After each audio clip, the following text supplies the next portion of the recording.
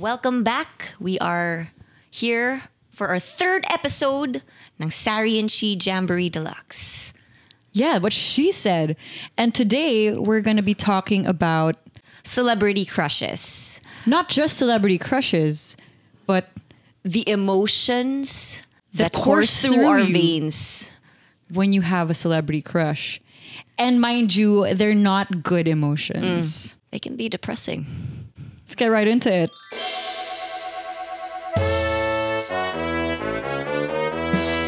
Welcome, welcome, welcome, welcome to the show. It's time to calm your titties. Ready, set, go.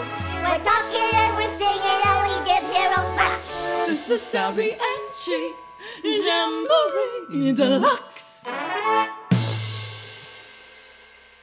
Crushes. Celebrity. Of the celebrity Kind? kind. Ah. Crushes of the celebrity kind. Hindi naman natin kailangan i-rate yung like a list that we might have. Walang, Oo. wala It's not list. important sino yung celebrity crush.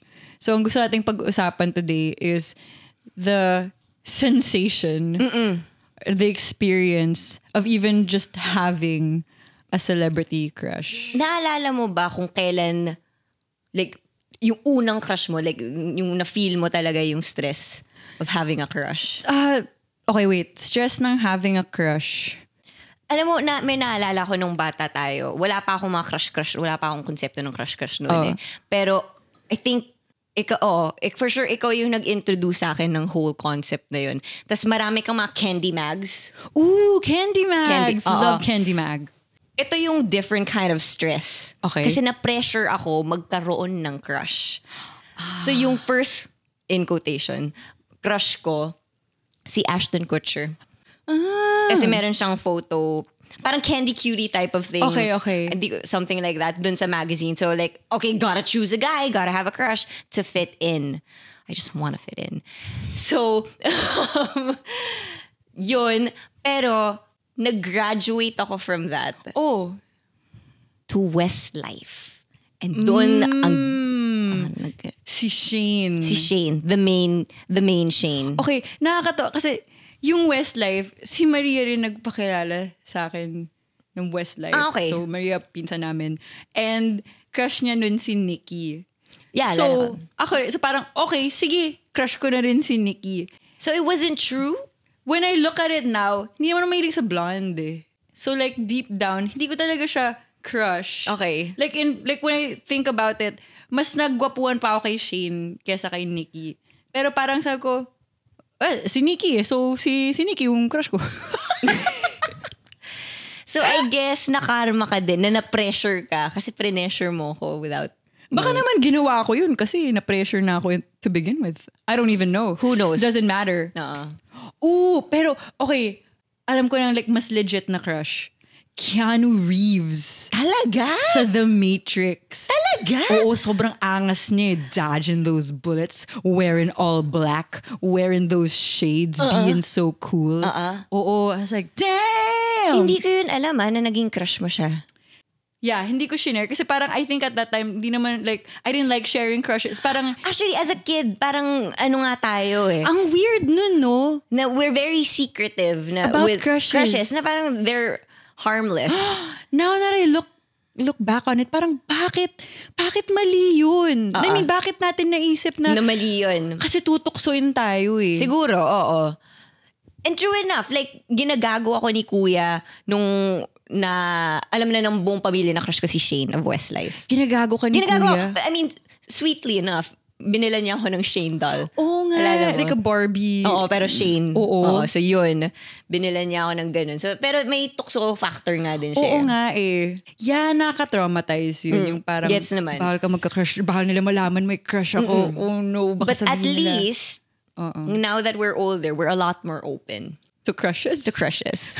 Ay, isa pa pala. Ano? Daniel Radcliffe, nung lumab- unang lumabas yung Harry Potter. Siya ba? Or hindi ba yung ano, yung Quidditch guy? Hindi, si Maria yung may crush Ah, sa Quidditch okay, okay, guy. okay. Ako super crush ko si Daniel Radcliffe dun.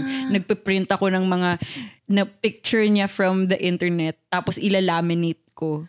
Oh! Medyo cute nga naman kasi siya.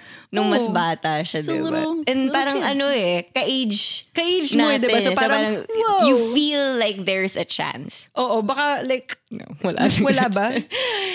He's from a different country. Wala pa kasing Facebook nun eh. Ah, okay. So kung may Facebook lang nun, May chance talaga. Bigger chance. Okay. Pero wala eh. Ang dami ng lumipas na time and yeah. Pero good times. Good times. Good times. Sino bang big, okay, we can get into ano, sino bang mga ganun, ganun ah, like si Timothy Chalamet. Ikaw nag-introduce sa akin. Kay Tim- Timothy? Oo, Kay Timothy. Timmy? Kay Timmy. Movie ba yun? I think it might be Little Women. Little Women. Oo, na... Kasi alam mo na we like period films. Yes. And then kinomend mo talaga yung acting skills niya. Dun sa Ah. movie na yun eh. Aha, aha. So, curious, gotta see this. And then nung napanood ko siya, na in love ako, Mm-hmm. but at the same time, na-depress ako. Yes. Na I, I can't have that. I, I can't. You can never have him. I can never have that. And unfortunately, this is not the first time I've felt this emotion. Kaya mo pa ba naramdaman yun? Gerard Way Oh, ng My Chemical Gerard Romance. Way. Mm-mm. I just wanted to be with him and in In his skin. medyo Masakit yung Timothy Chalamet for me kasi sobrang mas bata siya sa akin. Ooh, Hindi okay. ako sanay na mas bata sa akin ang celebrities. Yes, oo, oo. Diba? Kasi growing up, they're all older. Oo, And it's yeah. like, whoa, he's a man.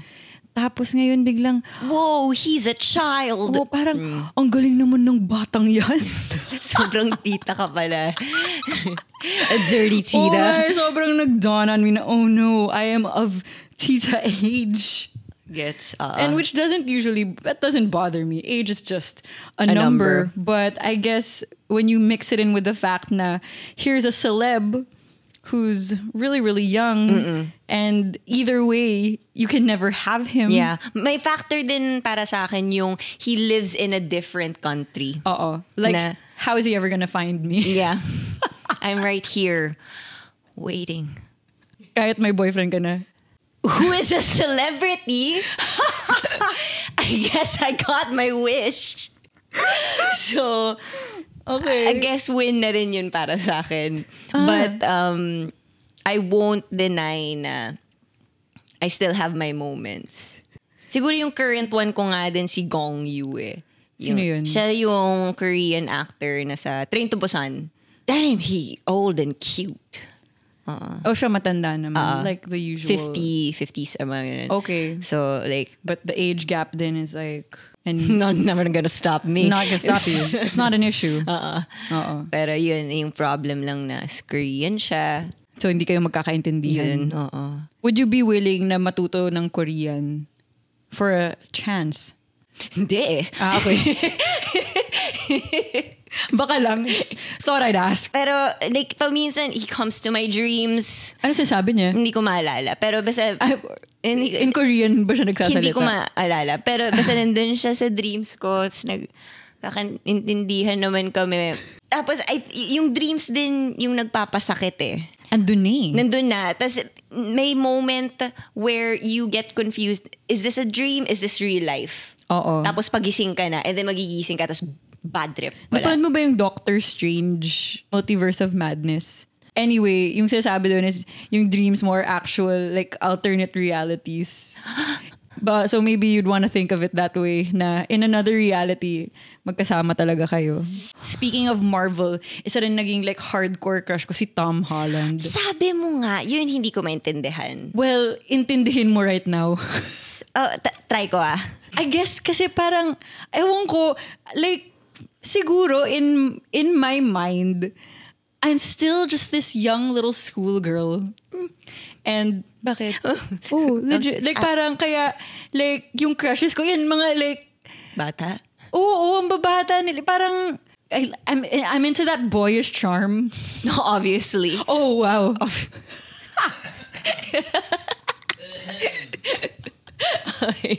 The epitome of boyish charm.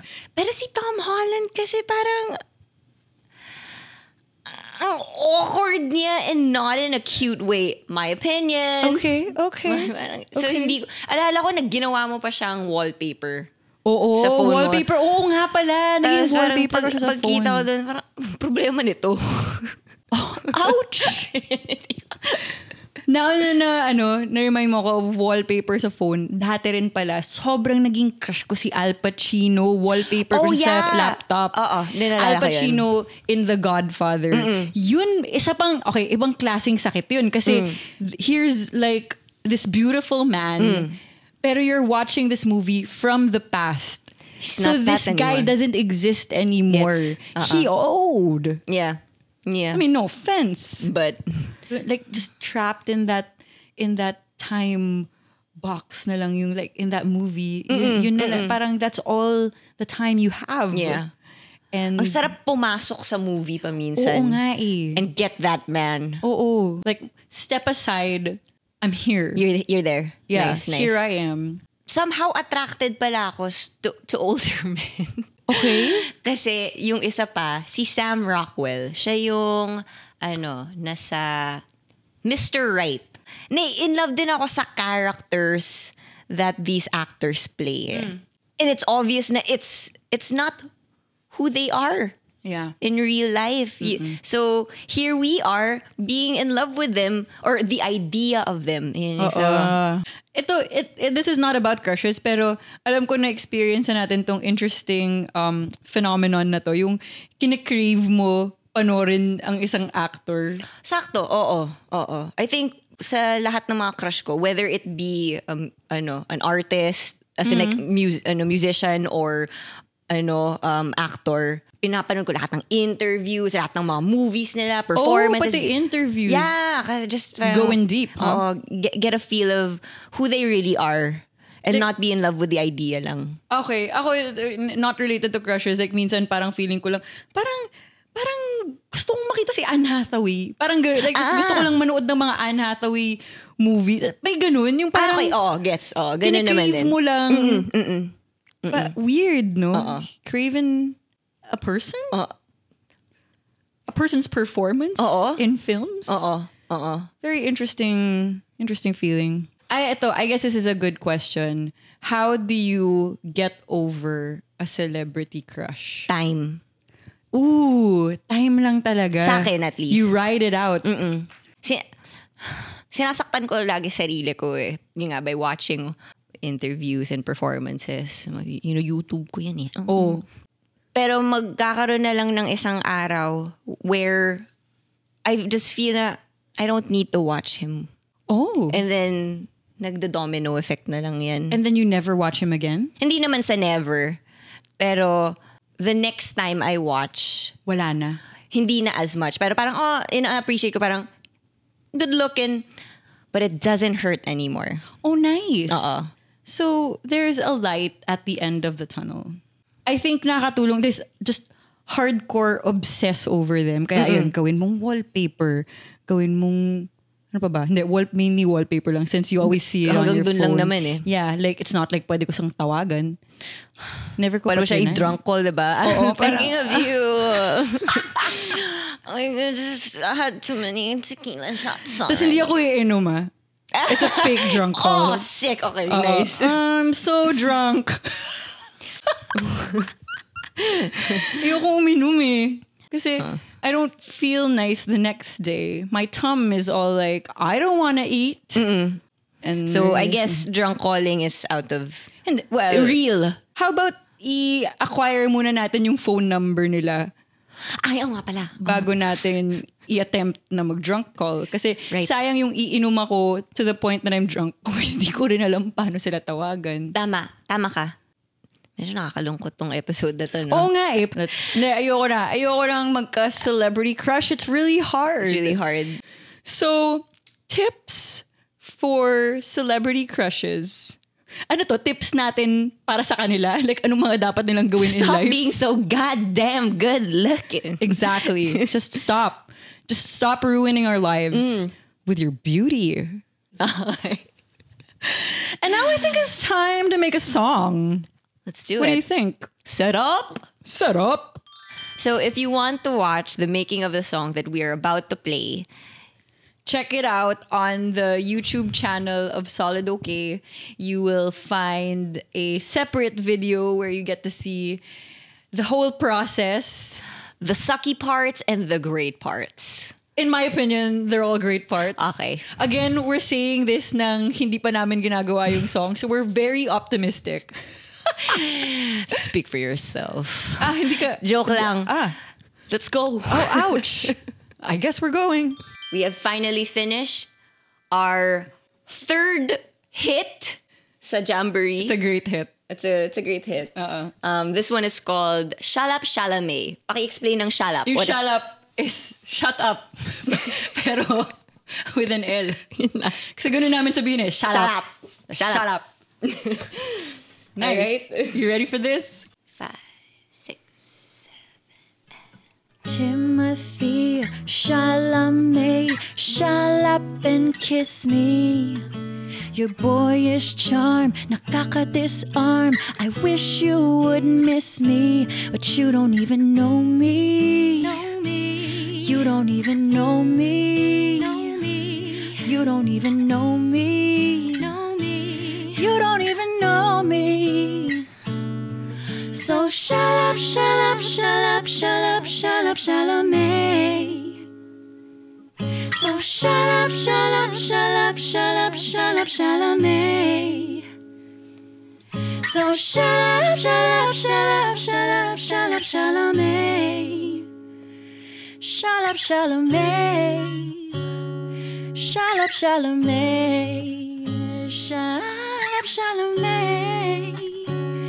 Shut up, Chalamet. Okay. Huh? Okay. Oh, okay. Who? It's me, it's me Timothy. Timothy?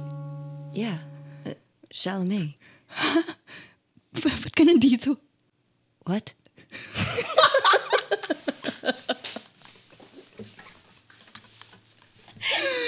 Bam! And scene! Andun pala si Timothy Chalamet. Nag-dreams come true. Ayun lang pala siya eh. Pero hindi nga pala siya nagtatagalog. so my bad. Dapat pala In English mo siya. Oo. But, a lesson learned, alam ko nang gagawin ko pag na-meet ko si Timothy Chalamet. Ano? Mag-English. Ah, okay. Kala ko baka kantayin mo yung song na to eh. Pwede But anyway, we hope you enjoyed listening to our song. Yes, to our third hit of Jamboree Deluxe. Nice. Playing you the hits It's all day, all, day. long. Uh-uh. All day long. Uh-uh. Oh, you heard it with your own ears. We're playing you the hits all day, All day long. Jamboree Deluxe. This is Sabi Anchi Jamboree Deluxe.